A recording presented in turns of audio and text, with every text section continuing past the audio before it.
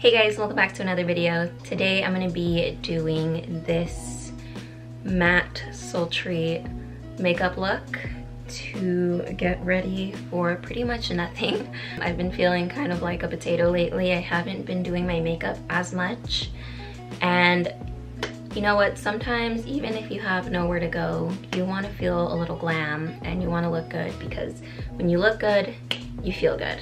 You know, with everything going on right now, it's kind of hard to stay positive, but I noticed that when I do my makeup, it's crazy like how much of a difference putting on makeup can do for you. It just instantly gives you so much more confidence and kind of like what Charlotte Tilbury says, you give the person the right makeup and they can conquer the world, I think. Give a woman the right makeup and she can conquer the world, which are very powerful words and I I stand this. This is these are words to live by actually.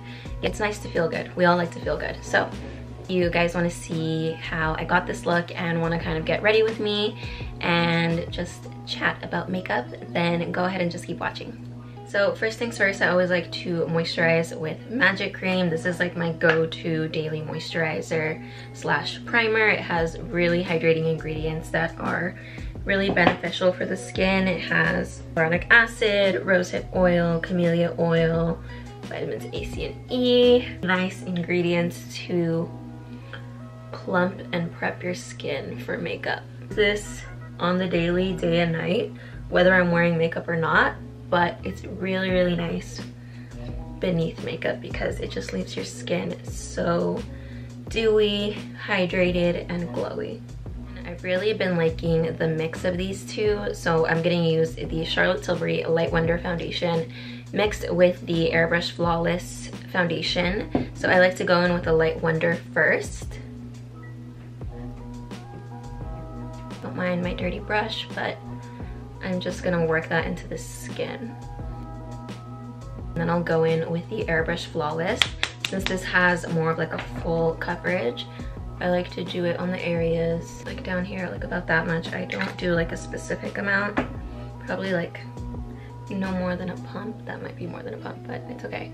And then with this one, I like taking the blender and really just pressing it into my skin. So I like this because it just gives that extra coverage, but I love the Light Wonder because it's a very like hydrating water-based foundation, so it has a nice glow to it. To color correct, I'm gonna be taking the Magic Vanish Corrector by Charlotte Tilbury in medium. I really, really like this formula and overall product. It's just a really good way to counteract any discoloration underneath the eyes or anywhere all over the, the face really, but I like to use it mainly in my under eyes because I do have slightly a little bit of discoloration, so I can even get away with just using this by itself, but I just love how thin this formula is. It's kind of like second skin. And I really just kind of press that in on with the Magic Away Concealer and I use the shade 7 Medium.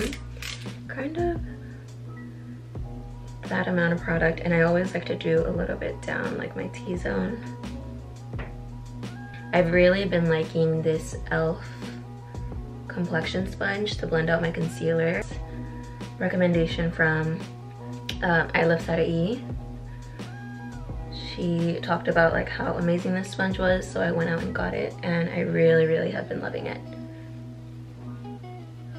And then I'm just gonna be taking the Airbrush Flawless Finish Powder in the shade 2 Medium lightly set my under eyes. I always like to set my brows because I find that this helps them stay on longer because when I apply my brow product without like setting it, it can tend to move around because the product is more creamy and liquidy. So to contour, I'm gonna be taking the Hollywood Contour Wand in medium to dark. I go back and forth between like using a brush and a sponge, but today I'm just gonna use a sponge and blend that into the skin. And this gives it more of like a natural sort of effect. So if you feel like you went a little bit overboard with the contour, try blending it out with a sponge and it blends out a lot easier. Okay, so here I'm just adding a second layer to really build up the color and bronziness. Personally, I don't contour my nose too much just because I feel like it looks funny on me. What I do is just kind of take like whatever's left over like on the sponge or the brush and I kind of just press it right onto my nose. Add whatever is left over and go about my day. I'm gonna be filling in my brows. To fill in my brows, I really love the, the Brow Lift. I'm using the shade Luscious Brow today. I usually use Supermodel, but I recently ran out and I just placed an order to get one. So it should be coming in the mail anytime now. This one, this one works just fine too. It's just a little bit warmer, but. So with my brows, I pretty much just follow my natural shape and I do extend the tail just slightly to make them a little bit longer.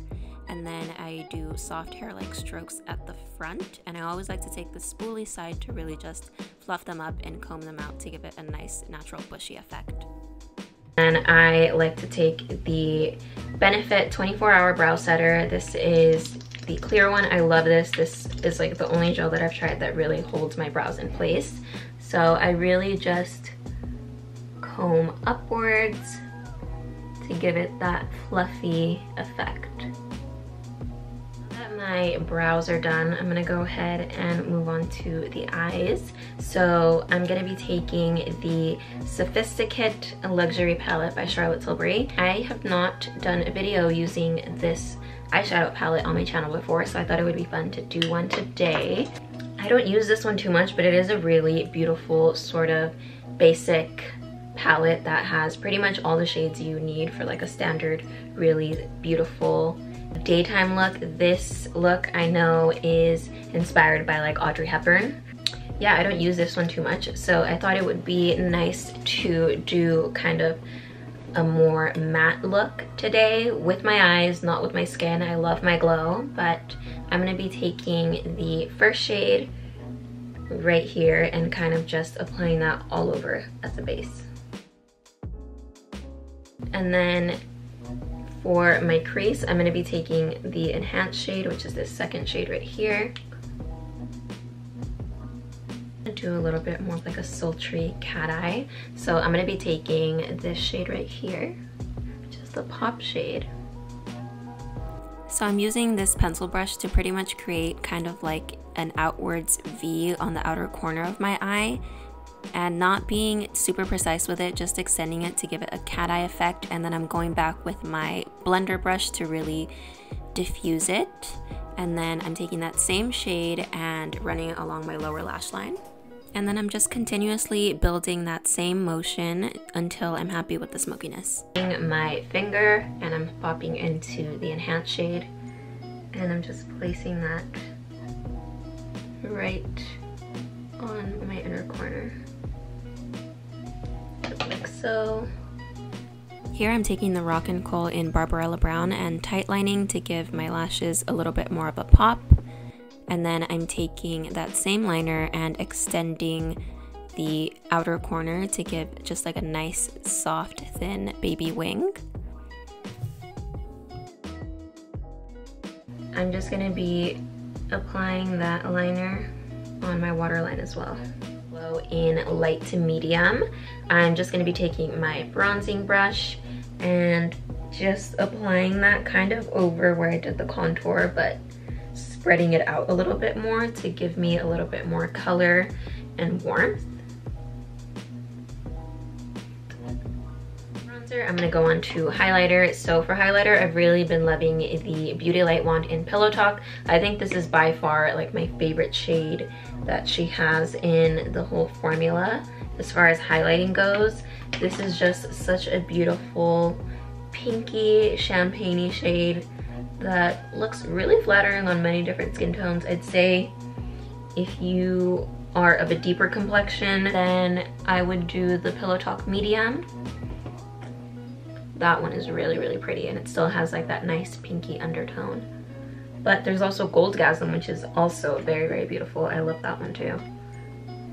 Then here I'm taking the iconic Nude Lip Cheat by Charlotte Tilbury. This is one of my favorite colors and I'm just following my natural lip shape.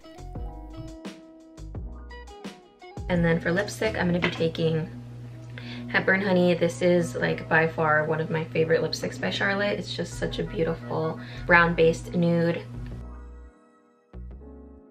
This lipstick looks incredible on many different skin tones, but if you are like of a medium to dark complexion and you're looking for a good nude lipstick, I would for sure recommend this one. I've really been loving this Dior gloss in 629. It's really, really beautiful. It has like a nice frost to it.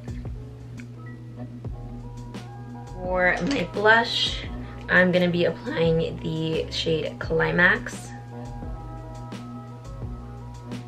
Just right on the center. Like that. And usually always save blush for last because blush is the first makeup product to fade throughout the day. That pretty much sums up this look. I hope you guys enjoyed it, found it helpful. Let me know whatever you guys are doing to kind of keep yourself busy. This is what I've kind of been doing to help time pass by. I really want to um, use all this extra time to put into like making more videos and more Instagram videos too. If you don't follow me on Instagram, my Instagram is at roziebz. I hope you all stay safe and stay home and hopefully this will pass by soon. I'm going back to the Bay Area tomorrow. I have some other videos that I filmed yesterday that um, I can't wait for you guys to see. So without any further ado, thank you so much for watching and give this video a thumbs up if you liked it and subscribe to my channel if you haven't already. And I'll see you guys in my next one. Bye.